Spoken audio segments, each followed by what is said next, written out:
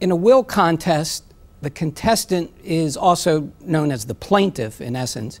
That is the person who believes the will to be void or invalid, and so they are filing a petition with the Maryland Orphans Court to have that will set aside.